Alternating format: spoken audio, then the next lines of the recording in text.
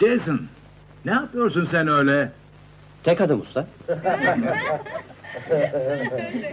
Bu Bruce Lee'nin jet kundosu değil, karate.